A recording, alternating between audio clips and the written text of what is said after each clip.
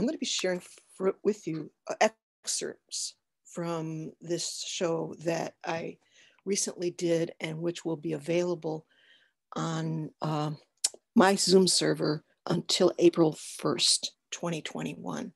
And it's a much longer presentation than what I'm going to be showing you. But one of the things that really stood out to me has for some time in researching Egypt before the time of the pharaohs is this theme, which you can already see here, of the invoking woman. And that's that's what I'm going to concentrate on here is just to pull that forward because it's something that is a central, if not the central motif of late Neolithic Egyptian art. And this is in painting, this is in sculpture, various media, rock art. And so I wanted to just give you a glimpse of this and here we're seeing an example of it on the painted D-ware that we're going to be looking at a lot of it. But it comes quite, quite early on, and they don't really give me a dating on the Al Mestekawi cave in southwestern Egypt. This is well into the Sahara. But the figure of invoking women already appears in the rock art, and especially this curve of the arms above the head is something that we're going to see in a later period, but still quite early in the fourth millennium BCE along the Nile Valley. And so this is an interesting piece, though, because they've used the crack in the rock as if they're standing beside the river, and you see the reflections of the invoking women in the water, which is kind of interesting. You've got these very archaic handprints that we see in a lot of world cave art. Uh, many of you will have seen the vulture headed goddesses as they're often called, figurines that are often brightly painted with red, brown, ochre, and then clothed, the lower part of the body clothed in a white linen wrap. Bird face, vulture face, the arms curved, not really as much arms as wings, and they've also been compared to the horns of African cattle.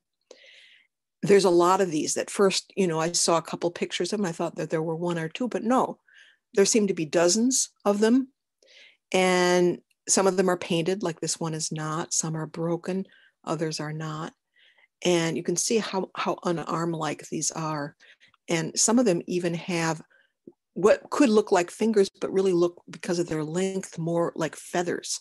So that there's this wing quality, this bird woman quality to these figurines. But the arms raised above the head in this posture of invocation, or perhaps, perhaps if they are considered to be deities or ancestral women benediction. And there are many, many of these. One whole grouping of them is in ochre painted pottery from the fourth millennium BCE, especially between about 3800 to 3300 BCE. And the goddess and river boat, the ceremonial river boat that we hear about from really late Greek accounts, like Herodotus talking about ceremonial boats going up and down the Nile on the festivals. The central figure is a woman with her arms curving around almost in a heart shape, the hands hanging over her afro coiffed head.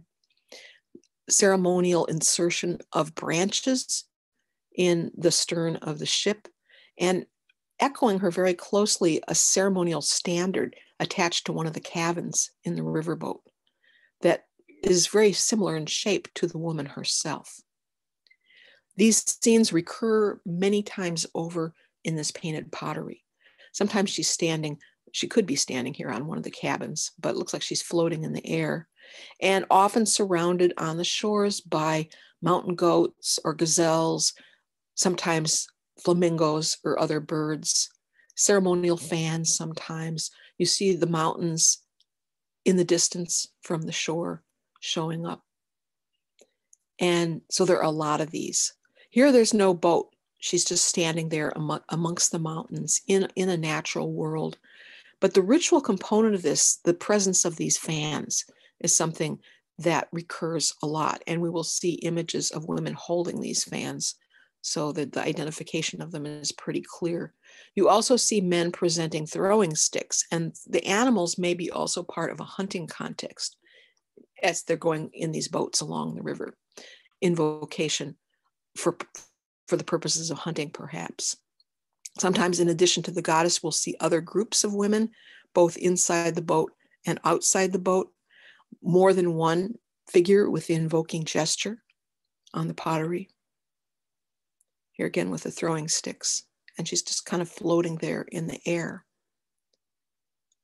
over the boat. And this one's a little bit of an outlier because she's not in the boat and you have the animals in the distance and they call it a desert hunt scene and i wasn't shown the opposite side of this but i'm assuming that there are hunters with throwing sticks or bows on the other side. So you can get some idea. I'm, I'm just showing you some of these and in the full presentation i go into this in more depth. There's quite a lot of imagery. But just to point out too because this is not something that gets remarked upon very often. Maybe in specialized journals they'll mention it, but not something that is given a sustained amount of attention. And you're calling uh, these these figures here are in alcoves, and I show other examples of this in the presentation, as if they're in shrines on the boat. And note also that the front and back you have these flamingos standing there. Various kinds of ceremonial standards attached to the cabins. So when I say goddesses here, I mean, it's sacred women might be a better term because it could be a goddess, it could be a priestess, medicine woman, ancestor. There are a lot of possibilities since there's no written sources. We're going only by the iconography. And here's the interesting thing they don't only show them in ceramic sculpture or paintings, but also she turns up in the rock art. And so here again, we have the woman with the curved arms raised above her head she seems to have a feather coming out of the top of her head. She's standing in the boat, and the boat is being towed up the Nile. So if you're riding a riverboat and you're going north on the Nile, that means downstream, then you can just coast along with the current. But if you want to go south, which is up the Nile, then they used to have a rope. You'll see this with the Volga boatmen too, towing the boat upriver. And here's another drawing that's kind of enhanced that same one we're looking at. So you get a, a, better idea. The cabin is once again indicated. So she's quite large. She's bigger than the cabin. She's almost bigger than the boat. And we have these long-haired women in, in body wraps hauling the boat up the river. This one I don't have a photograph of. I'm still searching. Eventually, hopefully, I'm going to find a photo of this. But this time, multiple women and three of them are holding these serpentine staves in their hands. Others are raising their arms ceremonially. There's, the standard is there present, kind of a horned structure. And again, a group of people hauling the boat up the river. That's from Nubia. As these are all pretty much in the Nubian region, or in the case of the petroglyphs, the eastern desert, going out from the direction of, say, Luxor and Thebes to the Red Sea area. Here's another example in, uh, you can see lightly carved breasts on there, and perhaps these lines representing multiple people. Most of them have lines below showing the oars of the rowers. But uh, this looks like, you know, we, we could even look at these possibly as representing a journey, a funerary journey to the realm of the ancestors. And so various wadis, various water courses cut through the rock is where these were engraved. You still see the animals alongside the curved arms. And then in this, this same river valley region, in, in uh, southern Egypt, in Nubia, near Kom Ombo, there is this, this wadi called Um Salam, where that you have this motif also. And you do have the riverboat with the central figure and the many people in it, but we also have dancers.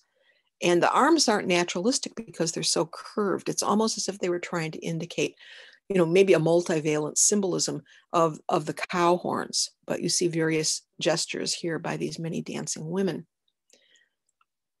And here's another example from Wadi El Atwani, kind of hard to make out from the photo. So they supplied us with this sketch showing women dancing hand in hand. And then this one's a little bit more unusual because you have multiple invokers. Once, once in a while, you'll have several, but they aren't placed side by side in this way. So this one's kind of unusual, but a group of dancing, invoking women.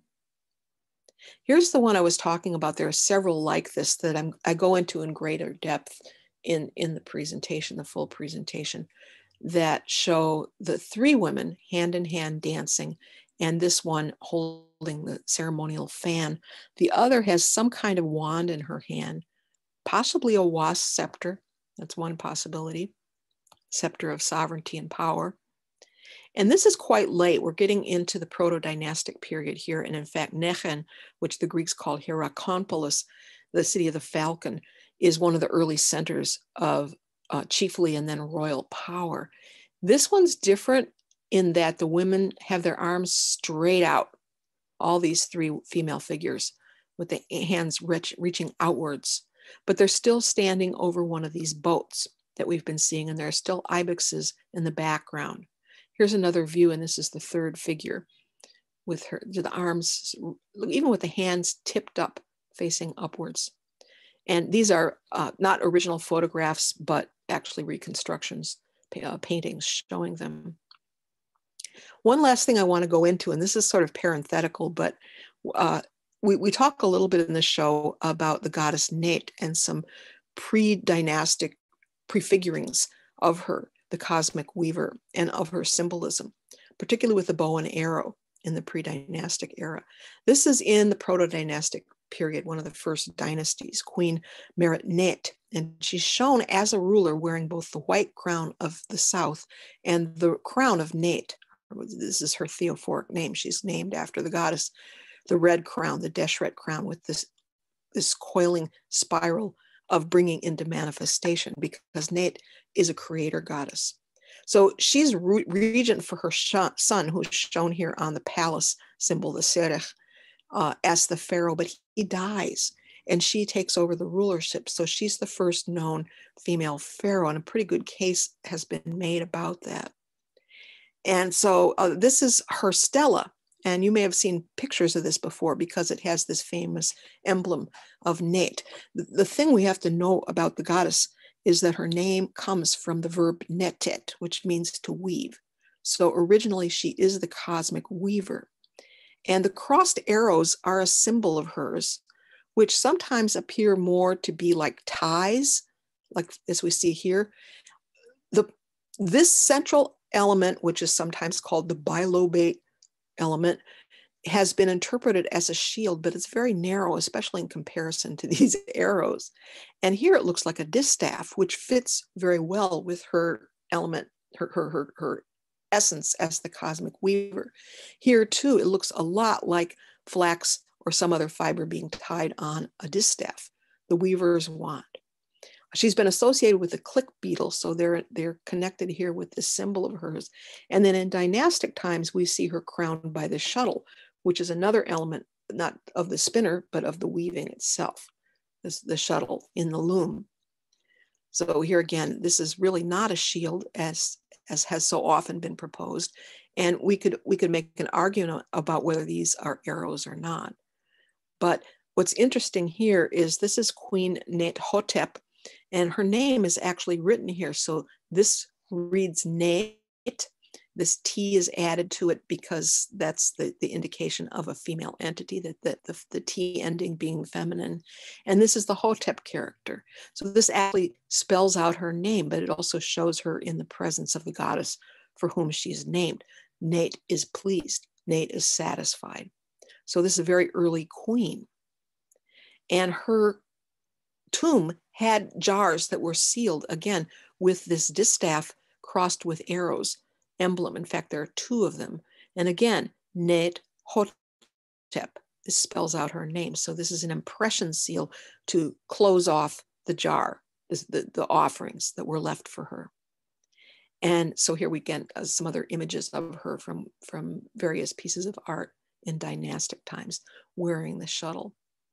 So I go all into all of this in more depth, and I'm putting this up on YouTube now it is February 17th, and you can still subscribe to the um, the full webcast will be up until April 1st. And I'm going to put the link to it in the comments on YouTube so that you can access that and, you know, open source.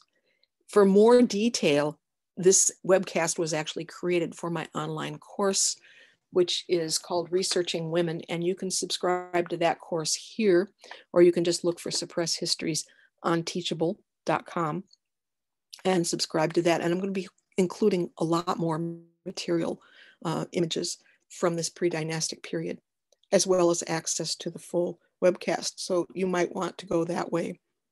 And the, the platform on Teachable, this same address, also has various videos, as you can see here, on women shamans who led revolts against empire, resistance movements, women healers, a lot of different topics. And those are mini courses, but they're all video based.